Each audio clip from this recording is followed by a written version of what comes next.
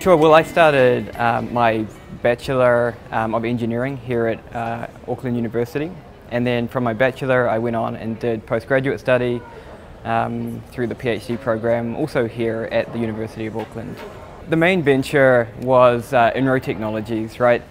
Um, and Inro is uh, a forklift automation company. So we looked uh, in the you know, we kind of surveyed the domain and saw that there was this big opportunity in warehousing to take, uh, you know, something that customers were very familiar with, a forklift that, um, you know, was like 80% of their costs was a driver on that machine moving stock around in their warehouse. Um, and so, you know, we, we, saw that opportunity and uh, utilized what we'd learned in our, in our engineering degrees and, and went after the opportunity, right? Um, eventually building this company to uh, provide automated forklifts, so taking the person off that machine. It was, uh, you know, a really compelling proposition.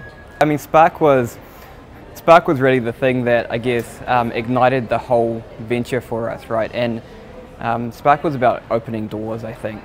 So, you know, when you're a, a student, eh, for me, an engineering student, um, there's not a lot of exposure to, to business and it's maybe not even in your mindset to go after uh, building a company.